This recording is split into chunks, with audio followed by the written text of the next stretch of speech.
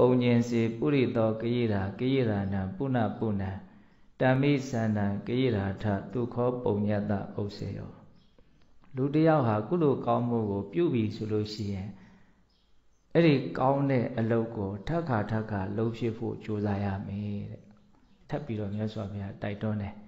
တမိထိုကောင်းမှုပြုတဲ့အလုံးမှာဆန္ဒလုံလဝရိယကိုဝါပြုလို့တဲ့ဆန္ဒကိုကိယရာထဖြစ်စေရမယ် လုံအောင်မယ်ဒါထပ်လုံအောင်မယ်ဒီဆန္ဒကို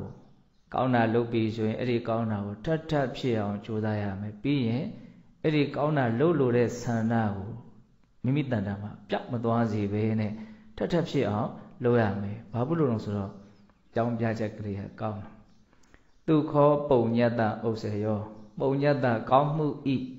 ဥစ္စေယောတိုးပွားလာခြင်းသည်သူခောချမ်းသာခြင်းဤအကြောင်းတည်း